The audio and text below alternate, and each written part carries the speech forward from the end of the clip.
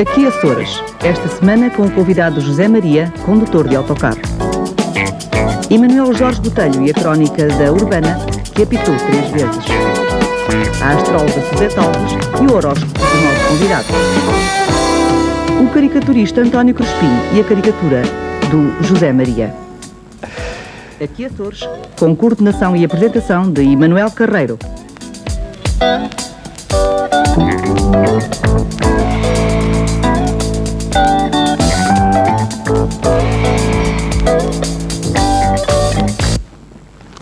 Ora, muito boa noite para si. Terminamos o Aqui Açores do passado sábado pedindo-lhe que nos desse a sua opinião sobre o programa. E fizemos-lo porque se tratava da experiência de abordar questões de um modo diferente, informal, tratando de coisas sérias, eh, coisas às vezes sérias, de uma maneira divertida. Ao começar este segundo programa, queríamos dar-lhe um pouco conta do resultado. As opiniões surgiram rápidas e espontâneas e foram de molde a concluir que o figurino utilizado em Aqui Açores agradou de um modo geral. Vamos, pois, mantê-lo, embora com pequenas alterações que as características de cada convidado impõem. E toda uma série de diferenças, de diferenças e de circunstâncias opõem o nosso convidado de hoje ao da passada semana. O mundo de diferenças que opõem o governante ao governado. Tivemos aqui o político, o líder, uma figura que está a conduzir e a fazer a história dos Açores.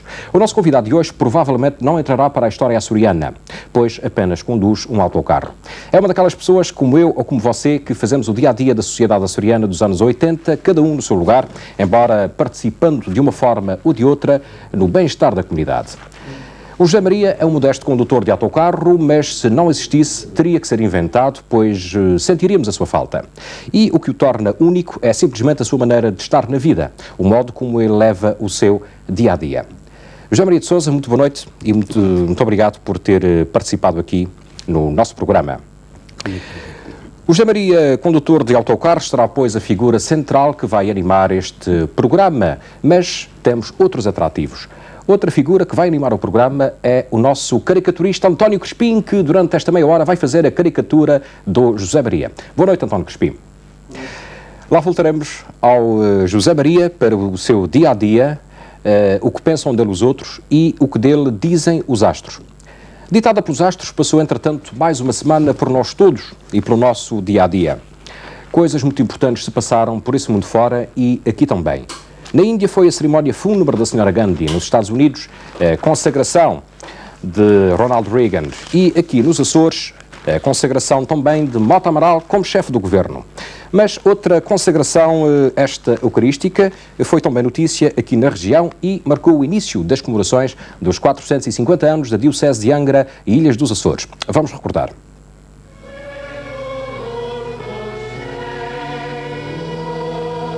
A solene concelebração eucarística que marcou o início das comemorações dos 450 anos da Diocese de Angra realizou-se na Igreja de Colégio porque a Sé Catedral dos Açores está fechada ao culto devido a obras de reconstrução. As centenas de fiéis participaram nesta concelebração, presidida pelo 37º Bispo de Angra e Ilhas dos Açores, Dom Aurélio Granada Escudeiro. Neste ato litúrgico estiveram presentes os bispos de Viseu, Macau e Dili, além do patriarca da Índia, Dom José Vieira Alvarnaz. Todos estes bispos são naturais dos Açores. Esta concelebração solene contou ainda com a participação de leigos representantes de todas as ilhas do arquipélago e de autoridades regionais.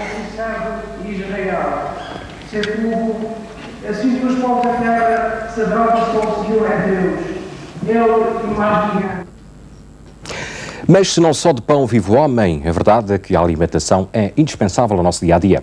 E para que haja garantia de que o peixe e a carne que comemos estão em perfeitas condições sanitárias, são indispensáveis os veterinários. Os especialistas da medicina animal reuniram-se na cidade da Horta no seu segundo encontro regional. O encontro proporcionou uma reflexão sobre diversos temas de caráter científico e dele ressalta o desejo de aperfeiçoamento dos veterinários dos Açores.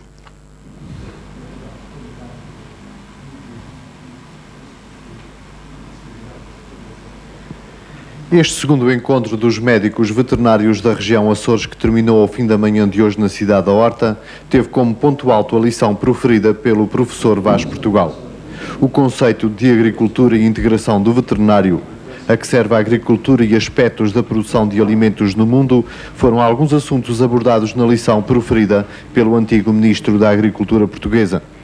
O aspecto fundamental da lição centrou-se no tema A ciência posta ao serviço do agricultor, que tem como objetivo o aumento da produtividade. Educação e culturação é o primeiro ato que se pode fazer pelo agricultor português, disse o professor Vaz Portugal. O acontecimento de maior projeção política foi, sem dúvida, a tomada de posse do terceiro Governo Regional. Um elenco quase totalmente renovado vai agora administrar a coisa pública. Com maior ou menor talento, o futuro dirá. Dos anteriores ficaram Mota Amaral, Álvaro Damas, Costa Neves e Adolfo Lima.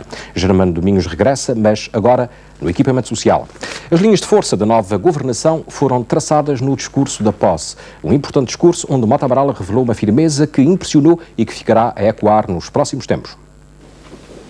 Por nossa parte, continuamos a entender a autonomia como um processo dinâmico, suscetível de sucessivos aprofundamentos e em cada um dos seus estádios de progresso absoluta e totalmente irreversível. Ou seja, não estamos dispostos a ceder aquilo que laboriosamente conquistamos em luta heroica contra a ditadura comunista dos tempos do gonçalvismo na altura da elaboração da Constituição e depois, no ano áureo das conquistas autonómicas, no nosso Estatuto. Não cederemos. Aos órgãos de soberania incumbe exprimir, no plano dos princípios e atuações concretas, a sua convergência com esta posição fundamental para integral respeito da Constituição e do Estatuto, que é a lei de grau superior, quase constitucional. E, sobretudo, para respeito das liberdades açorianas, que são a expressão da dignidade dos Açores e do povo açoriano. Assim ficarão abertas largas vias para a revisão do Estatuto e para a própria revisão constitucional em 1987 ou antes ainda, se sempre vier a ser antecipado. José Maria, o que é que você pensa da política? Bem, eu não sou político, mas não tenho assim um grande interesse mesmo para a política, mas a política é um movimento de, de pessoas assim elevadas, essas pessoas é que podem mais ou menos uh, se meterem dentro nessas coisas. Você acha que é preciso ter uma vocação para ser político? Certo, uh, deve, ter, deve haver um ideal. Quer dizer, a pessoa deve ter esse ideal de ser político. Para mim, não. Uh, assim, assim. Você vive bem? Pois vive, vive, graças a Deus, vive assim. Remediadamente? Sim, vivendo, vamos ver. Quanto é que você ganha? Eu ganho 34 contos e 34 contos, assim, mais ou menos. Uh, tem os descontos uh, de 20 a 26 e tal. Vivente, quer dizer, privando de certas determinadas coisas. a sua mulher também trabalha, de maneira que certo, isso ajuda certo. a equilibrar o, o orçamento ajuda, familiar. ajuda, se não fosse assim era mal. Você, naturalmente, pensa que a vida está bastante cara, como todos nós pensamos. O custo de vida cada vez sobe. Você acha que é difícil viver hoje em dia? É mais difícil hoje em dia do que uns tempos atrás, por exemplo? É mais difícil viver agora porque talvez nós estivéssemos habituados uh, antigamente a mais, um, um, mais uma moderação. Agora vivemos, uh, talvez agora mal acostumados a querer Andamos a atingir de tudo. Você é religioso, José Maria? Sim, sim. E uh, isso é importante na sua vida? É muito importante. Para mim é muito importante.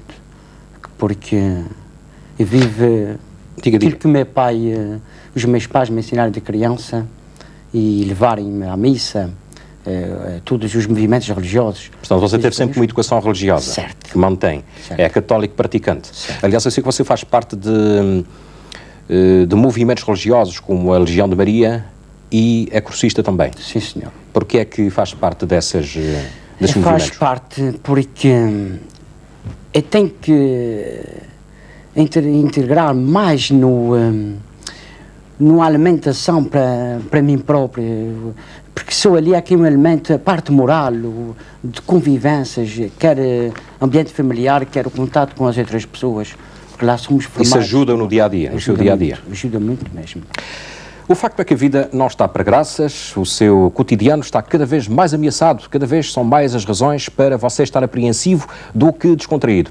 Não lhe bastava já a grande ameaça que sobre todos nós pesa da guerra nuclear, a possibilidade de toda a nossa civilização voltar à Idade Média. O fantasma do holocausto nuclear que as superpotências dizem não querer. Mas há outros problemas a pesar-lhe na consciência. Os ecologistas dizem-lhe que a terra e as águas estão cada vez mais poluídas. Os economistas que a situação é de crise, os psicólogos que o stress está a dar cabo de si, os moralistas que há uma crise de valores e os políticos dizem-lhe que cada vez você ganha menos e gasta mais. E o pior é que você sabe que é verdade, até porque vem aí mais aumentos.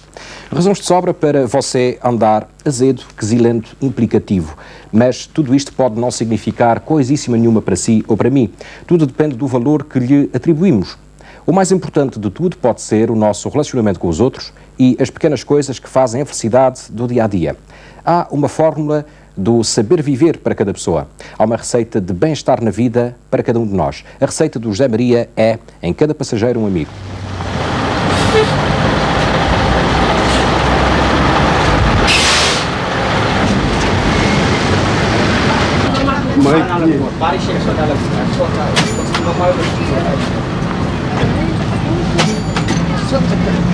Olha, a senhora pode sentar ali.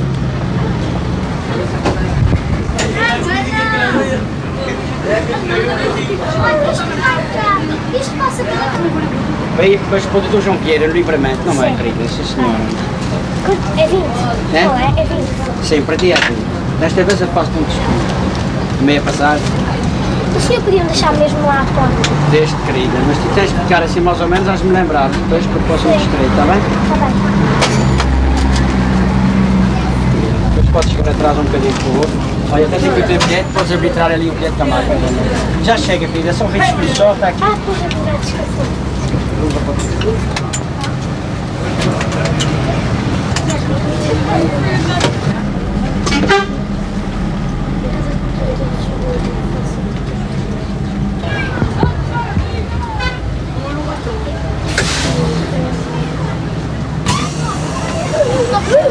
Olha, vocês têm calma que tem poucos lugares. Vem mais um carro, vocês vão ter paciência, vem mais um carro.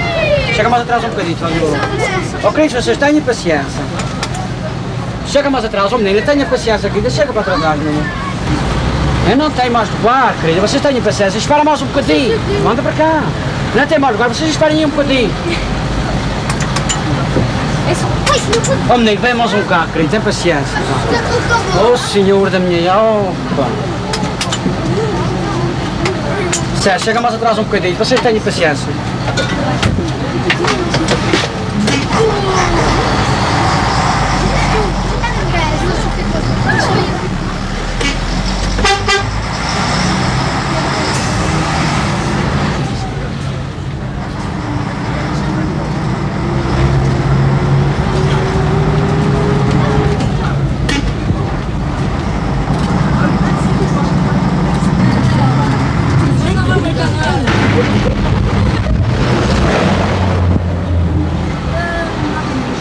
Senhora, faz favor.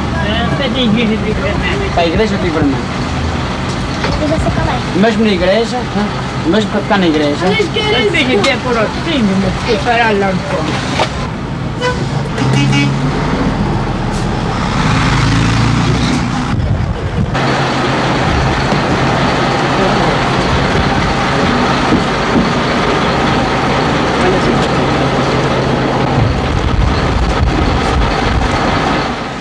As imagens e os sons de uma carreira diária normal entre Ponta Delgada e Alagoa falavam por si.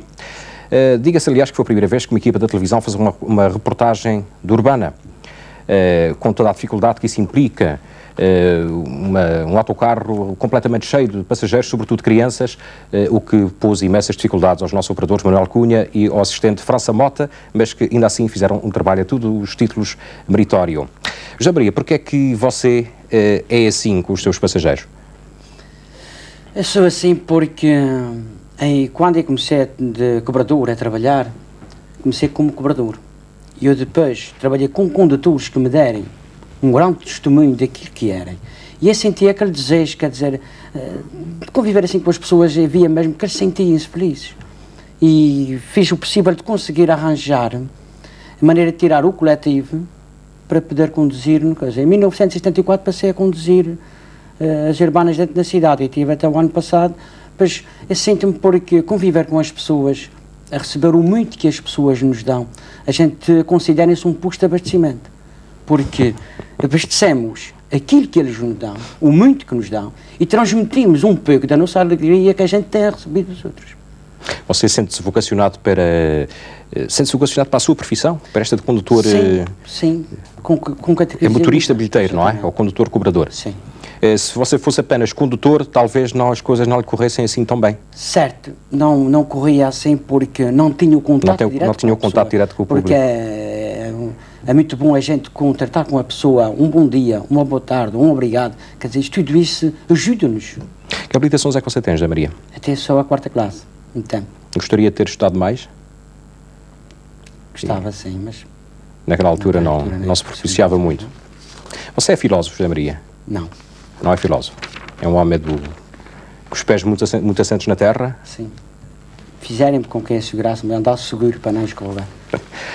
A Urbana apitou três vezes título para uma crónica de Emanuel Jorge Botelho, há tempos publicada num jornal de Ponta Delgada. Uma homenagem ao José Maria, condutor de sonhos. Viver de coluna dobrada, percorrer a monotonia sórdida de um caminho que tantas vezes batido se esquece no bolso como um mapa da memória perdido no forro de um fato único. E depois essa cadeira dura, José Maria, essa mão direita a marcar o compasso do tempo nas cinco velocidades que te permitem. E aguentas, aguentas tudo isso. Começas ali junto ao campo de São Francisco e vais calheta fora. No fundo, José, regressas quando partes.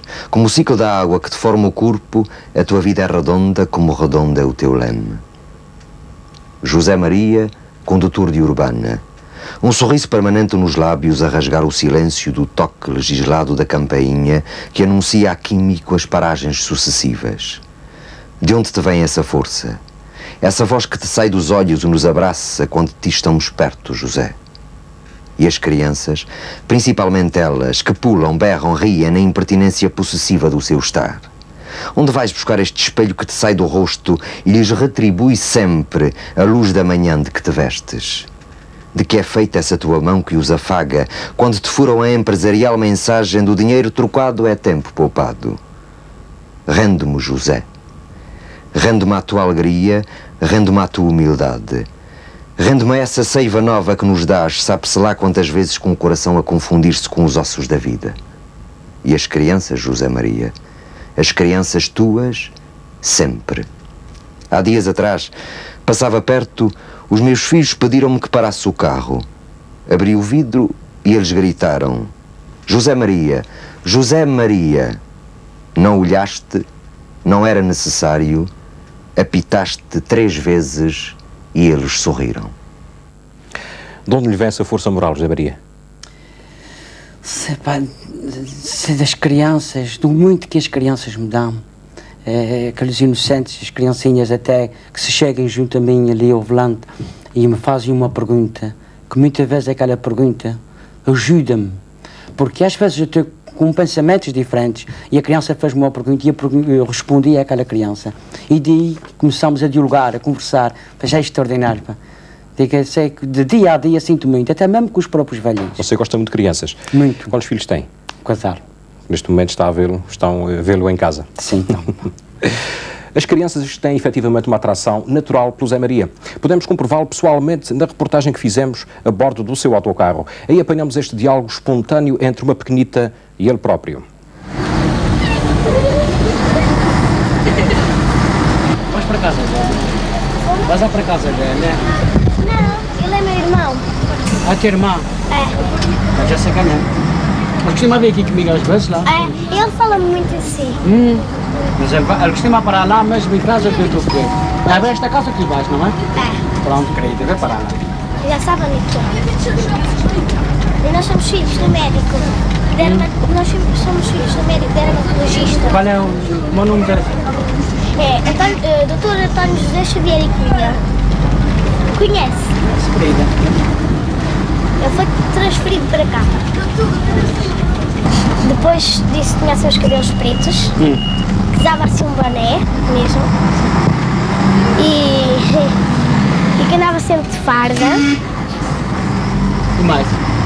e disse que era muito simpático Ai, não me diga. e que deixava sempre à porta de casa. E eu achei muita piada. Como? Achei muita piada. É por isso que agora já, já sei quem é. Irmão, Sim. dê-te assim mais ou menos o formato que era a pessoa. Quer dizer, não foi preciso mais nada, já sabias que era eu, não? Já. Descobri logo que quem poderia ser, não é? Havia muitas pessoas parecidas assim com essa cara, não é? Mas não.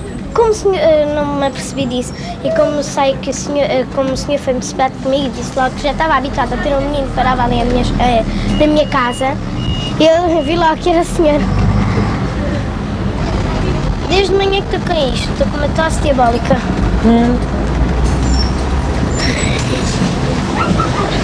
Agora, Eu chamo-me Susana. Eu chamo-me Susana.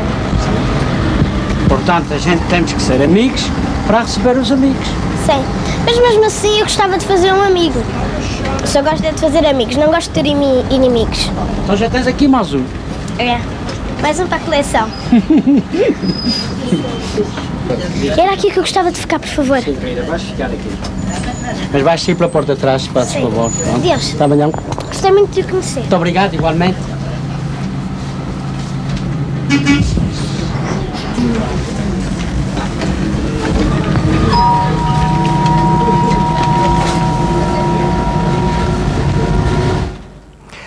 Imagens espontâneas, cheias de ternura. José Maria, de uma vez a sua filha teve um acidente e esteve até em perigo de vida. Eh, mas apesar disso, você continuou sempre com a sua disposição eh, habitual eh, no contato com os seus passageiros. Sim, porque as pessoas, nós estamos confiantes. Quando temos a certeza que em qualquer canto da rua temos um amigo que nos estende a mão, ou em qualquer situação que nós encontramos, temos um amigo que diz assim, pá, estou contigo, pá, conta comigo, pá, isto é extraordinário. Isto foi, eh, foi assim porque fez-me aceitar e andar assim, sabe, 10 com o coração partido, mas sempre com a disposição de mostrar mais ou menos às pessoas que existia sempre um amigo. Mas eu recebi Você acha importante ter amigos? Pois, se não tivermos amigos, nós vivemos só. Ai daquele que não tem amigo. E os seus amigos, amigos valeram nessa altura? Isso ajudou a superar essa, sim, essa situação? Sim. Quer dizer, a amizade, até mesmo do continente, tive pessoas que me telefonarem constantemente para cá e, e derem-me um grande apoio à miúda e à minha esposa quando estiverem lá e pessoas que eu não as conhecia, por intermédio de outras pessoas, pessoas amigas, a que fizerem com que aquelas pessoas chegassem a auxiliar a minha esposa e a miúda lá em Lisboa. Amigos, passageiros e outras pessoas que o conhecem são unânimes em que ele é diferente. Uma pessoa disse-nos que gostaria de ser como ele. Outra não soube explicar a razão dele ser assim. E outra ainda falou em bondade. Os depoimentos aqui ficam. O senhor é o chefe dos mecânicos aqui da- das oficinas de- do Varela. O que é que o senhor me pode dizer a respeito do- da personalidade do José Maria de Souza? José Sousa é um bom colega de trabalho, um bom amigo, um bom motorista, muito bem ensinado para novos velhos projetos igual, ou pequenos ou, ou grandes, é tudo igual, bom motorista, um bom condutor. Por que é que o senhor acha que ele é assim? Porque vejo, tenho visto, às vezes acompanho-lhe e vejo da forma que ele conduz e da forma que trata as pessoas e Mas porquê é que, porquê é que ele terá essa maneira de ser? Como é que o senhor explica isso? é, essa maneira de ser dele, não sei se será dom da pessoa, não sei explicar. O José Maria de Sousa para nós aqui, como nosso colega de serviço, é por para mim, que eu tenho que falar é só para mim, não para os meus colegas, não é? É excepcional, quer dizer, amigo nos servir a qualquer hora, não é? Como já disse. E prestável a qualquer hora que a gente chama por ele, sim senhor, sim senhor, ele vai fazer e não, não se nega a nada. Acha que ele tem defeitos também? Não, se os tem, eu não os conheço. Chega ali ao, ao, ao mercado, eu vi isso dezenas de vezes. Senhoras de certa idade, eh, para entrar na gabinete com embrulhos, ele levantava-se do, seu cocheio e ia ajudar essas pessoas. Ora, isto eh, é fantástico nos dias de hoje, vê-se uma coisa dessas. Um dos casos que me recordo e que me deixou uma certa impressão e boa. Foi, passadas já alguns anos, ainda o José Maria era condutor da carreira da Central. Numa das eh, apertadas ruas de Ponte Delgada, ele, meia viagem, deparou com um carro mal estacionado, com a traseira toda chegada ao meio da via impedindo a, passagem do carro que ele conduzia.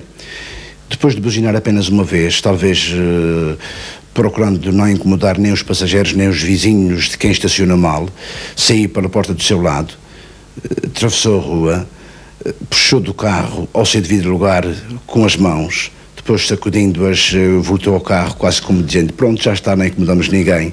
Ora, isto aqui há 17 anos, ele também deu aqui quando a estrada e aqui nesta escola e mecânica. Já nessa altura, ele era muito competente e revelou essas qualidades que ele tinha.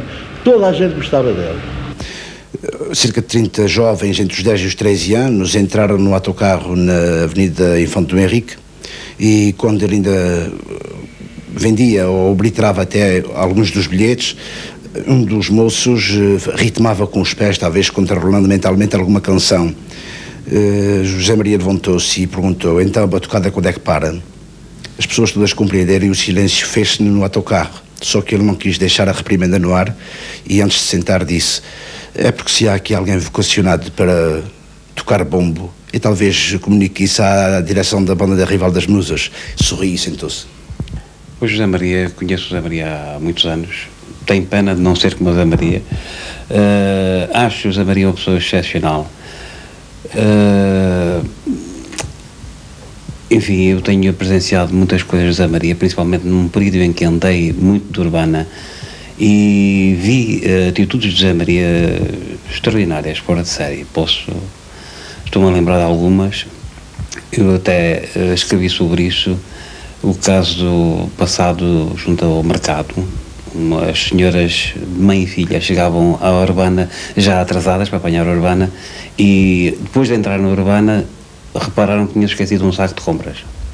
Muito aflitas, como é que ia ser, como é que não ia ser, e o José Maria, no seu, à vontade, de, oh, mas não tem problema, esperamos mais um bocadinho, e toda a gente aceitava realmente, e as senhoras foram buscar o saco à praça e, e voltaram com o saco das compras, e a viagem fez-se num ambiente de boa disposição. Como profissional, ele é exemplar, zeloso, competente, dedicado. Tem a sorte também de trabalhar numa empresa que reconhece e premia essas qualidades nos seus funcionários. Numa empresa de transportes coletivos, o saber lidar com o público é importante. No concurso para apurar o melhor condutor, o José Maria, a par com outro colega, obteve o primeiro prémio. Condutor desta empresa, José Maria de Souza. O ano passado, a meados do ano, a administração resolveu atribuir um prémio aos seus condutores. Depois, eh, incidiram sobre 10 itens uh, estes 10 e 13 anos desde da manutenção ao tratamento com o público. A classificação era dada uma pontuação de 0 a 10, uh, eh, feita quer pelos chefes dos vários setores, quer pela Comissão de Trabalhadores, quer pela própria Administração, e no, soma, no somatório, depois quem atingisse um maior número de pontos, depois seria considerado lá, o melhor contor, assim podemos chamá-lo. houve dois bons contores, um deles exatamente o Jamaria e depois houve outros classificados também bastante próximos. Sim, depois houve um grupo de condutores uh, com classificações muito próximas, isso felizmente. Pode prender-se daí que é um grupo de condutores bastante bom aqui na empresa? Sim. Quantos uh, condutores é que tem a empresa? A empresa tem 58 condutores neste momento. José Maria, o que é que significou para si a obtenção deste primeiro prémio na empresa? Foi mais um testemunho da amizade de, dos próprios colegas de serviço, porque foram eles que me disse o senhor engenheiro Minas Feira, que foram para eles mesmo que votarem na classificação dos melhores condutores. Você sempre se deu bem com os seus colegas? Deu-me sim, porque foram eles que me ajudaram a chegar aos pontos que sou. Um simples e humilde condutor de transportes coletivos, mas foram eles, com a sua amizade, com os seus testemunhos, enfim, com de experiência, conselhos, foi, uh, Mas naquela altura em que você foi o primeiro motorista bilheteiro, uh, não teve problemas aí nessa altura? Pois não. Pois não tive problemas nenhums porque foram eles. Eh, não, não fiquei vaidoso, senti-me satisfeito porque era sempre um testemunho dado e reconhecido daquilo que nós, nós damos.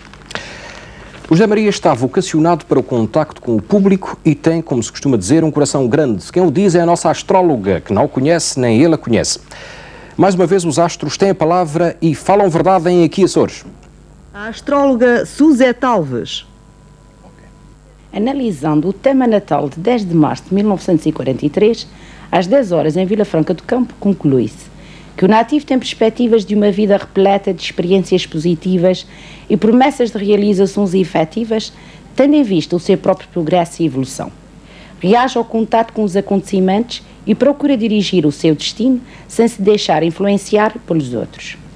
É dotado de uma dupla personalidade, o que lhe permite mostrar umas vezes uma personalidade consciente e outras vezes uma personalidade inconsciente, quando manifesta muito mais aquilo que sente do que aquilo que o seu próprio raciocínio aconselharia. Na maioria das vezes, há um domínio das qualidades morais sobre as intelectuais. Há mais bom senso que raciocínio. O coração fala e compreende mais rapidamente do que a cabeça. Poder-se-á mesmo dizer que o nativo tem inteligência do coração. Tem uma intuição e compreensão bastante rápidas que fazem com que também sinta as coisas, de modo que se o nativo seguir a sua primeira impressão e não se deixar emocionar pelo que vê, dificilmente se enganará. Se por vezes se deixa iludir, é porque deseja conservar a calma, a paz e, sobretudo, para não sofrer nem fazer sofrer os outros. É demasiado sensível e a perda das suas ilusões é para si o mais cruel dos sofrimentos. No entanto, sabe dizer não quando a sua consciência assim o aconselhar. Nota-se por vezes no nativo uma certa hesitação, mas esta vencida vai em frente e nada o fará parar, nem mesmo as dificuldades e obstáculos que possam surgir, porque, no, porque se sente seguro de si devido à fé que o anima adapta-se facilmente às circunstâncias e ambientes. E o seu desejo de agradar e de ser apreciado torna o seu convívio bastante fácil. É espontâneo nos seus gestos e bastante original, no seu modo de agir e nas suas atitudes. Tem uma natureza ardente e impetuosa, mas boa e generosa. Seu aspecto jovial e simpático, sua voz agradável e palavra fácil seu quase constante bom humor e otimismo granjeiam-lhe muitas simpatias espontâneas e uma certa popularidade, mesmo nas camadas mais jovens. Os seus argumentos desorientam e divertem os seus interlocutores. Boas capacidades de trabalho, não gostando nada de ficar inativo e desejando aperfeiçoar-se cada vez mais. O nativo é respeitado e estimado em geral, mas seu sucesso é mais honorífico que material a segunda parte da sua vida será muito melhor e muito mais equilibrada. As suas alegrias são íntimas. O contentamento daqueles de quem gosta é uma das, das suas maiores satisfações. As suas afeições são firmes, bem como as suas convicções, e para defender tanto as primeiras como as segundas, poderá tudo sacrificar e desafiar. Tem um sentido das oportunidades e sabe aproveitar as boas ocasiões que se lhe apresentam. São os próprios acontecimentos que muitas vezes o favorecem. Quanto à saúde, pode-se notar certas perturbações circulatórias, reumatismo principalmente nas pernas e alguns problemas digestivos. Neste momento, o nativo passa uma fase de transformação da capacidade para afirmar a sua vontade e conhecer o que realmente quer. Em fins de novembro começará uma nova fase na sua vida. Em dezembro, terá que ter cuidado com o fígado, a tensão arterial e o reumatismo e também com os gastos exagerados. O próximo ano mostra-lhe boas perspectivas materiais e financeiras e mesmo certos ganhos inesperados. Boas perspectivas financeiras, José Maria, está de parabéns. Você já conhecia aquela senhora de algum sítio? Não. Nunca a tinha visto? O que é que você acha do, do horóscopo que ela, que ela disse, daquilo que ela disse a seu respeito? está tudo certo ou há coisas que não estão? Não, está tudo certíssimo. Por exemplo, tá? a parte financeira vai estar muito melhor. Posso lhe sair totobola ou lotaria? Lembre-se de nós, hein? Sabe-se não. Ela falou ali em dupla personalidade. Você tem duas personalidades, Ana Maria? Você com as pessoas é assim como nós o conhecemos e em casa é diferente, por não, exemplo? Não, não, não. É sempre não. igual? Sim, sim. Em casa, mas temos que manter mais um, amizade, mas temos que manter uma, um, mais ou menos uma disciplina, principalmente com os miúdos, para que não haja depois um dia abusos. Mas fazer dos meus filhos um amigo, ou que os meus filhos sentem que têm um amigo a qualquer hora que precisem, para repreender os meus filhos. Eu não estou à pancada nem amarrada com eles. Eh, gosto mais de repreendê-los, dialogando com eles, fazer ver o que é que pode acontecer, a origem, que eles sintam um amigo, que depois, se precisarem de alguma coisa, não vêm ter com os outros de fora, ou contar uh, os outros de fora as suas faltas, mas sim ao amigo, que sim, tenha confiança em é um amigo. Uma das características do nosso hum, convidado é que gesticula muito, disse a nossa astróloga. A câmara do nosso operador Manuel Cunha não a deixa mentir mais uma vez. A prova dos nove aí está.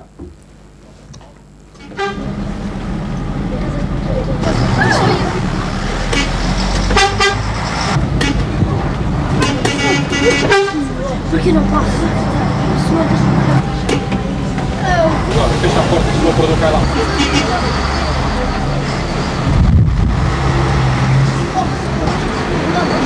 A gente cala vai mais uma.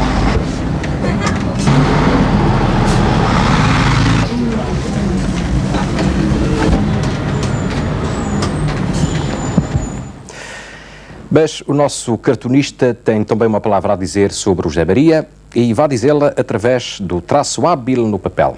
Durante esta meia hora, o António Crespi projetou no papel a meia dúzia de traços a caricatura do nosso convidado. O resultado aí está, pronto a ser mostrado. Ele vai passar-me o desenho para que você também o possa ver. José Maria, aqui está a sua caricatura. Bem interessante, por sinal. Sim. António Crespi, muitos parabéns.